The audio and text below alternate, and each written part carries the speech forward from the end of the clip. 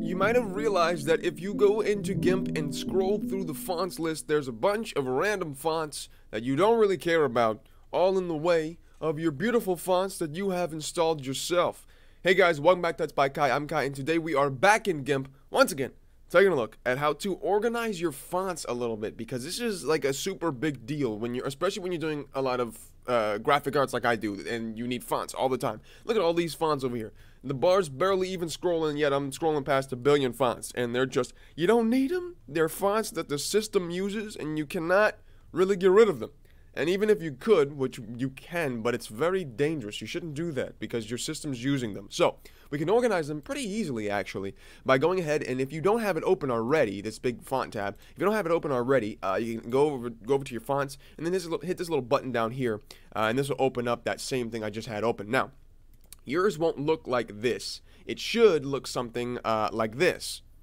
So now you can see uh, we have all the fonts that we had over there over to the uh, to the left over here on the right hand side now, which is super cool, right? So uh, what we have is all the billions of fonts. Now, if you know the names of the fonts you want to add, you can just either one, you can take the time and scroll through here and get all the ones that you want, or uh, you can just, you know, look at the fonts that you downloaded or whatever. Or like I said, the best way to do this, especially if you don't keep them in a separate folder, because I keep them in a, in a, separate folder so I can use them for Blender as well.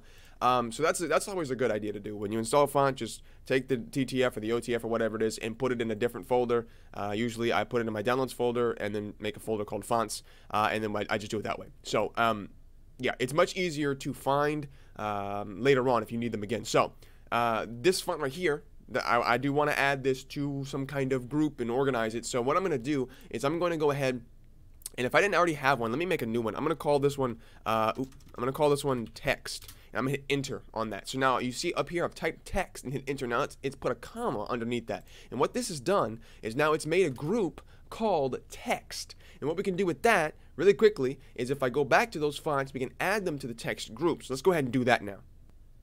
Alright, so we're back in the main folder here, and I can go ahead and uh, select a font that I want to add, and I can actually hold down uh, Shift and add multiple different ones. So we can just hold down Shift. I don't recommend scrolling all the way down and holding Shift and doing them all at the same time, because if you accidentally misclick or unhold Shift for a small amount of time and click one, then you're going to be losing all of your work. So I recommend just doing a few at a time, maybe just even one, and then we'll go down here to the bottom, not the top. The top is where you where you create the actual group. The bottom is where you add them. So I'm going to go ahead and type in uh, the word text here and hit enter. Now, you can see this added a comma right afterwards, and if we go and we hit this drop-down box and go to text, because the, the one that I had by default was fonts, that's the one I created beforehand. Uh, if you go to text, you can see that all of the fonts we just added are right here, which is way easier than, than having to go all the way to the other place and scrolling through all of this nonsense over here, right?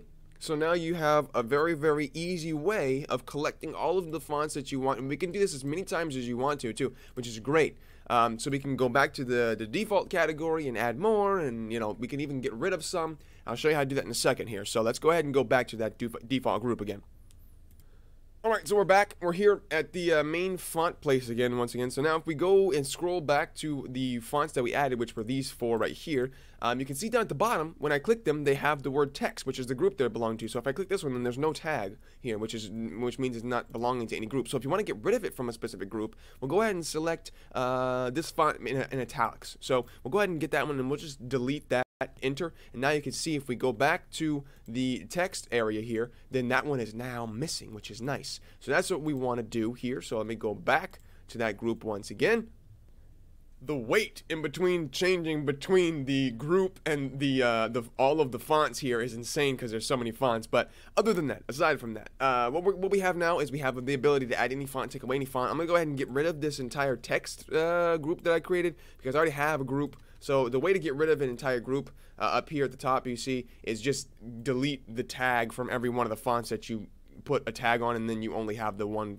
uh, group because text not here anymore. Alright, so now uh, I want to add all of these uh, fonts to my fonts group. So I'll just go ahead and I can just go through and add any font that I want to this group here. So we can just type in fonts for all of these here and then we can scroll down look for some more and now you have a super easy way to collect all your fonts in the same place go ahead and type in fonts and then here as well. And all of these will appear, and I already have that one. Uh, all of these will appear in the same place for easy access, so you don't have to scroll through all this stuff. Now, like I said, the best way to do this is to scroll through this, you know, one more time, just for the last time, and then grab all the ones that you want. Then you'll have them in the group for later on.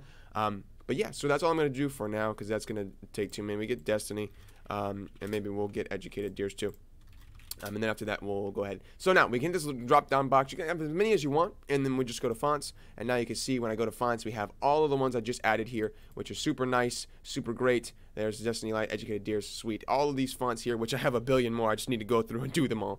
Um, but yeah, so I'm like a I'm like a font guy. I got a lot of fonts. I love fonts. So we'll go ahead and just um, we'll end it there. There you go. Hope you enjoyed it. Now, like I said, you could just go ahead and just draw open this box here, type in fonts, and then just scale it on up and then you can just easily change the fonts from here, which is super nice and easy. Hope you boys and girls enjoyed today's tutorial. Hope you learned something new. I really do appreciate all the support on the videos you've been giving, you guys have been giving me lately. I'll see you in the next one. But until then, bye bye.